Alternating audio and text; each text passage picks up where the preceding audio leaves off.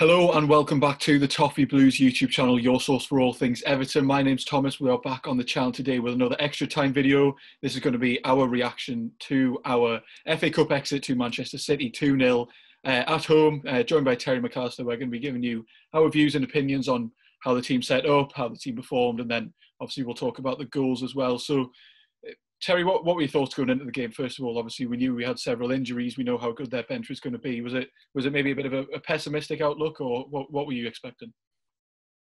Um, I was expecting us to have to play a really, really good game, and for Man City to have a bad game, and we got, in my opinion, half of that, but not the other half, which was crucial. I think we set up in many ways with the same mentality we had in the uh, away game at at Anfield, sort of tried to do a job on City, tried to stifle them, tried to make the most of set pieces and any opportunities we we got. But at the end of the day, it's not just true of this game; it's true of of all cup competitions eh, across football. If you're going to win a cup competition, you need to have the appropriate amount of good luck in key in key moments. And we just didn't have it in this game. Um, the key, you know, first goal comes and you know the, the luck doesn't isn't with us. It you know bounces back off the crossbar and onto the. If, if you're going to win the cup, you need that to bounce out to play, and then you get to penalties. Whereas it obviously didn't happen. So I can't fault any of the players if I'm honest, the manager or anyone like that. It was just we were playing, as Carlo said, the best side in the world and come up short at the, at the end. Yeah, I agree. I mean, I mean, going into the game, we knew we were going to be without the likes of James, uh, especially the goalkeepers as well. We knew Robin Olsen was going to be out and Jordan Pickford, so João Virginia came in, who uh, we'll we'll get into in just a moment. But in, t- in terms of squad depth, I, I, was personally quite pessimistic for the game. I thought we were definitely going to struggle to get much from it with you know the likes of Doucouré. We knew we were going to have to sit uh, quite defensively. We, you know, we really didn't we didn't necessarily have that player who was going to drive us forwards like he did. But as you mentioned, I mean, you know, we, we, didn't play badly by any means. We just, yeah, we were relying on City to have a bad game, which they didn't have, to be honest. We we, we performed defensively very well, and then, I mean, the, the incident with the goal towards the end, it, it was frustrating, but we we didn't really do much wrong. I think maybe we, we knew we were going to have to be good from set pieces. You know, we you know we, we know we have that in our locker. Uh, we had Holgate and Digne taking the long throw-ins as well. I think maybe we could have utilised them slightly better. I'm not sure we created you know the the absolute golden opportunities that we probably wanted from them. But we knew we were going to have to come in defensively, which we did very well. There's times where we've gone into games defensively and just not defended very well at all. The organisation hasn't been there, but uh, I, I, really can't fault, fault it against City. So, kind of starting off in the game, what, what was your reaction to the first half? Of course, it was it was neither you know neither side had too many absolutely key chances. Obviously, City dominated the ball, but I think we ended up having more maybe shots on target in the first half than they did, uh, especially you know from the set pieces that I mentioned. So, what did you make of that first half? It was going according to plan, really. I mean, you know, people will, you know, so usually pundits who don't support Everton will bemoan the lack of, you know, opening up and the lack of, you know, you know, ambition, I suppose, against Man City. But it's like, what do you want teams to do? Like, you know, we don't do that at our best. We don't do that against anyone. Never mind, you know, the, the best footballing team in world football. And yet they had 200 passes and we had about 29 or whatever it was. But it's like, who cares? The, the score was nil nil. Like, you know, you won't play Man City every week. And if, if it works, it works. And it was working up until that point. I think, um, you know, some of the players are question marks over them. Like, you, you know, you know Godfrey's going to be as good as as he is every time. You know, you know um, what Mina's going to give you, etc. You know what Lucas Digne's going to give you. Some of the players who, who are a little bit more you know, unsure of. Some of them had great games, like Andre Gomes. I, have you know, decried Andre Gomes quite a few times this season, but he had one of his best games in an Everton shirt in this game.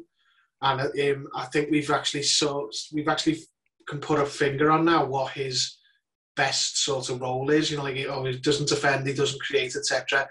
He was really good at beating the press because he's so good, you know, in, in possession in the sense of you know his, his passing's really crisp and really nice when he was getting pressed, he was finding ways out and finding players. He wasn't just hoofing it, he was recycling the ball very well and very carefully. And that's what he was doing. So he stood out for me in the first half. I thought, if we're going to get anything out of this game, it's going to be down to Andre Gomes. That was my feeling at half time. It's going to come through him. Now, he might not be long for this team um, in the long term. There might be, we might look to bring in somebody better than him in the summer for that position. But what we've got right now is what we've got, and he he stepped up in this game. So I'm, I'm I will kick him when he's when he's playing badly, but when he plays well, I'll I'll point it out as well. And he was he was excellent. He was one of the highlights of the first half for me. Yeah, I, agree. I thought he had uh, quite a decent game when he was on the ball. I've got to say at the start, I was disappointed to see Davies on the bench in, instead of him. I, I, did want to see Tom Davies start, but I think Gomes did did just well. You know, he, he did justify it in the first half, and I mean, in, in general, in the first half, as you mentioned, they were having a lot of the possession, but there, there wasn't too many key chances being created because we, we were stifling them very well. And it it's not as even they were playing badly, and they played their normal high tempo possession game. Obviously, they, they did have a bit of squad rotation. They didn't have the likes of João Cancelo, Kevin De Bruyne in the first half, which might have had a knock on in that you know that final third. But I mean, but the likes of Phil Foden, and Bernardo Silva on the pitch are still going to be really dangerous. I, I agree with Andre Gomes, very good in the first half. Uh, probably looking for a bit more from Sigurdsson as well. And I thought at, at times Allan, he, he, he, seemed destined for you know at, least a card in that first half. I'm not sure when he actually picked up his yellow card, but there was was a couple in the ankles, which you know isn't necessarily a bad thing. But obviously you don't want too many of them. But against the likes of City, you do need someone who is going to break up the play, relieve the pressure on the defence a bit. Um, other than that, again, the, yeah, as I mentioned, the, the first half was quite quiet. Then going into the second half, neither team really made any changes. It was it was pretty much more of the same for, for quite a while. Uh, I don't know if you agree with that. Yeah, it, it, was. You know, I think both teams will have gone in at half time, and both managers will have just said, just carry on as you go, and it'll come. And obviously, only one can be right. But um, yeah, I, I was like you with um, Tom Davies. I was like, I was surprised to see him not playing. But when the game actually got in, you know, got into its flow, I was like, I can see why because we've got Allan there and Davies next to him will do the same job. And I think, you know, as good as Tom Davies can be, on, even on his best day, he's not as good on the ball as Andre Gomes. And I think there's only one or two players in the whole squad who are better on the ball in possession than Andre Gomes in terms of keeping hold of it. Um, so I understood that. Um, I did worry it proved to be, you know, maybe not the reason, but it proved to be a factor. I did worry um, in the second half, like as this game goes on, it's going to get more and more difficult because they can turn to their bench as they ultimately did and bring on, you know, De Bruyne, people like that. And we were looking, and we had, you know, loads of kids who aren't really realistically going to get on, even if, you know, even if there was injuries in the positions they played, but were likely to just shuffle the team around and get a senior player on and just change things rather than bring a like for like on if it's an under 23s player. So I, I was worrying as the, as the game went on, it would get more difficult, and that did prove to be the case because De Bruyne ultimately, you know, he's involved in the in the goal that we end up conceding. And yeah, as I went back to before, did the look at the key moment wasn't with us. We needed we needed a bit little bit of jamminess, and it wasn't there for us. Yeah, exactly. The second half carried on in very much the same vein as you mentioned. Both managers would have just said, you know what, both game plans were being followed pretty well. There was just, you know, there was just no goals yet, but it, it, it was that kind of final 10, 20 minutes when you look to the bench.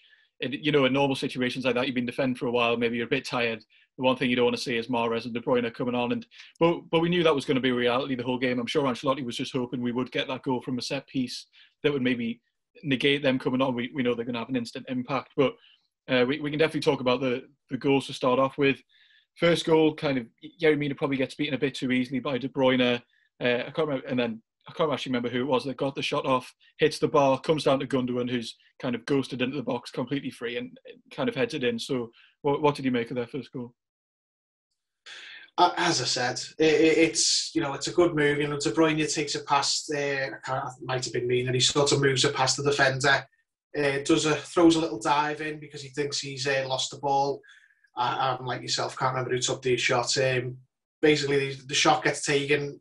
Virginia makes a really good save, tips it onto the bar, and then as it comes down, it just lands perfectly in front of Gundogan. And what can you do? It's like you needed, we needed that to go anywhere but there, and that's where it lands. And then you feel like the game's over more or less at that at that at that goal because much like and it, it was a similar sort of thing with the you know under different circumstances the when we went out the League Cup to Man United, you can see the goal late in the game after they you know looked to their bench and brought on the cavalry and we've got no one to bring on to change the game and then after that you just can concede a second, and that's inevitable because you you, you know you've got tired legs trying to chase an equaliser, and it creates more space for the opposition who've got quality, who've just come on the pitch and as fresh as anything. It happens with Man United in the League Cup quarter final, and it's happened against Man City in the FA Cup quarter final. It's just one game too many for us.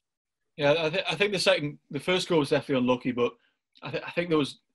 I, I was quite critical of Gomes after the game, not for his performance. I think he played quite well, but Gundogan, I think he's maybe got 15 or 16 goals in all competitions this season. You know what he's going to do. You know he's going to arrive late into the box, and it's kind of no one was tracking him. And I guess it's that it's it's that level of concentration. You know, for the last 10 minutes, we I mean, our focus throughout the whole game was absolutely brilliant, but it, it's that final five 10 minutes where no one's really picked his run up into the box, and uh, that's the difference between the two sides. You know, they have quality players who are up to that standard 100% of the time, and we had tired legs. No, no one was tracking him, and of course, it, you know, one time it might hit the bar and go over, it might just go straight over, but it hit the bar directly to the head of Gundogan. So quite frustrating. But and then the second goal, as you mentioned, you'd expect that. I mean, for all the you know the, the journalists on Twitter saying, you know, we, we went out. I can't remember which one specifically it was. We went out of both quarterfinals at ambitiously well. You, have seen there in the last two minutes or so. You go and attack City, you put everything forwards. That's what happens. And I mean, we all knew that. I, I'm not sure why certain certain journalists who are paid to give their opinion, you know, on Twitter seem to think that we should have opened up against City and not played the way we did. But yeah, not a bad performance by any means, and, and those goals were, were, were quite unfortunate to concede in the end. Obviously, that second one was kind of inevitable, and you know, we, we look to our bench after this after the first goal goes in and the, and Iwobi comes off, and it's like, what more can we do? I mean, even Joshua King um, was cup tied for the game. I mean, even that could have made a slight difference. We didn't really have that going for us, but as, as we mentioned, it was a pretty strong team performance, and there was one player who I think stood out in particular, which maybe surprised some people. João Virginia came in for the two injured goalkeepers. He he had a pretty torrid spell with Reading. He was on loan last season, and I think he got recalled or, or, sent back in January because he, he, really couldn't find much form. And I think a lot of people were quite nervous, you know, seeing how he how he you know stand up to the task. What did you think about his performance? Yeah, I mean, he did well given the circumstances. He made you know a few good saves, uh, one very good save, but it was just before the goal. I don't want to go overboard on him and say, oh, you know, he can be the number two now and all that. I'd, uh, what I'd like, the best case scenario for me from this game is that he's attracted the eye of someone in the championship who needs a goalkeeper who can take him on loan and actually play him. You know, not just a championship club who've got, you know, want to bring them in to compete with their established goalkeeper because that's, you know, I understand my clubs want to do that, but we're not interested in that. I hope a club who who've got no goalkeeper can take a punt on him next year and get him some game time, and you know we can make a decision from there because you know it's a high profile game and he gave a good account of himself, and that sometimes it is only as simple as that to get him a move. But that's I think be the best case scenario yeah, it's probably done his prospects the world of good as well for next season because he did have that spell at Reading and he was. I think he started the season. Then after a few games, he, was benched again, and then obviously, as you mentioned, there's there's no point in him being there to be on the bench. So and maybe a few championship clubs looked and looked at him after that and thought, you know what, he's just not ready for that step up. And hopefully this game, and I, am not sure whether Robin Olsen's going to be back. I think he was back in training, so I'd imagine he'll come straight back into the side. But you know, if he didn't, it, you know, Virginia's shown he, he does have the capability of stepping up, but he he will need consistent game time next week. So, I mean, were there any players that particularly disappointed you? I mean, there, there weren't any standouts for me. I think, as I mentioned, my, my only quarrel from the game was I, I thought our set pieces, we, we could have created a few more chances, but mean, what can he do? But I mean, there was a couple of moments with the Mina. I think Zinchenko cleared one off the line from a Mina header. I don't know whether that was just before half time. But when you need your set pieces to be absolutely on the ball, I think they were the majority of the time. But we've seen Digne have games where he delivers everyone perfectly, and you know we do very well. And, and in this game, it's it's a it's a fine margin kind of game. So maybe a few more excellent deliveries for me. But uh, have you got any kind of quarrels to pick with anyone? Not really. No. I mean, how could you against a team like that with you know the injuries we had to like we had no James, no Doucouré, um, and with the setup the way it was, they all did their jobs well. Like it's it's possible to make no mistakes and to still lose. You know what I mean? It's yeah, yeah. just one of those things. Um, so no, I've got no quarrel with any of the players considering the task that they had in front of them. Yeah, uh, and now looking forward, uh, we're out of our obviously our final cup competition, head towards the league now. We have ten games left to play. I mean, what what's the requirement now for you? We're out of both competitions. What, what, I mean, I'm to be honest, I'm not sure being out of both competitions really changes the goal for the season at all. But what what are you looking for now? No, um, fit, you know, finishing European qualification, whatever that may be. I, I, I don't think, and I've never thought we'll qualify for the Champions League just because of the depth, you know, of in the squads compared to other teams who are in and around, you know, those positions. I think they've got well more strength and depth. Europe, though, whether it's the Europa League or that Europa Conference League or whatever, any of them qualify for European competition, and it's been a good season. And big picture terms, I, I am for the first time as a Evertonian, probably. I mean, I may have felt this during Moyes' heyday, but never since then have I thought in, in full certainty that we will win a trophy under this manager. I think this season it's come too early and we've ran into two very good teams in the quarterfinals of both cups while we had you know some bad luck with injuries. We played um, Man United who were on song at that time in December and we had lots of injuries. And we've played Man City, who, even without injuries, if we didn't have them, we would have struggled to beat them because they're all conquering at the minute. I think, well, if Carlo Ancelotti gets a run of years as a manager here, which you know we all hope he does, I think he'll definitely win a trophy. He's a he's a trophy winning manager. These games have just come a little bit too early for him, but who knows what next year or the year after could bring. He's he's a winner, and I can feel this. I, I feel different now than I've ever felt for a long time about trophies and Everton. There was a sense of inevitability under the last five years um, about not winning a trophy. Whereas now I feel like some, it's different and it's just a matter of time and getting better players and you know just eventually you know plugging away and it'll it'll happen. I'm convinced. Yeah, yeah, exactly. I think I think the main thing this year, as you mentioned, two very tough opponents. I, I guess it's the luck of the draw really as well. I mean, when you are the likes of Man City, Chelsea, uh, Manchester United, it, it doesn't really matter who you get. You're going to have to play anyone. But for us, I mean, I mean, it's a it, it's not really relevant. But obviously, England's World Cup run. I know no one really cares about England, but there's no way that team should have been in the semi-final. It's that team, you know, they, they've just got lucky to face the opponents they've got. And this year we didn't have the luck of the draw. Okay, on a different day, maybe again that that shot goes over the bar, and you know we, we get a better chance. But next season again, it's just I mean you you look at the teams that were left. Leicester, obviously, we've beaten this season. Bournemouth, Southampton, Sheffield United, and we end up with Manchester City. Annoying, but you, obviously you do have to play the, the best teams at some point. You just hope it's a it's a bit later on the tournament. But I agree. I, I have no doubt you know, in the in the manager's chances of winning a trophy here. And when it'll come, whether it's next year or in the next couple of years, who really knows? But yeah, very optimistic. But that, that's pretty much it for the end of the video. Out of both cup competitions, obviously European places, that, has been the goal all season and has to be the absolute push now. Uh, so, I mean, that's all for me. So thank you all very much for watching. Let us know your thoughts down in the comments below, what you thought about the match. Uh, check out everyone's social media. And thank you very much for watching. And join us next time on the Toffee Blues. Go,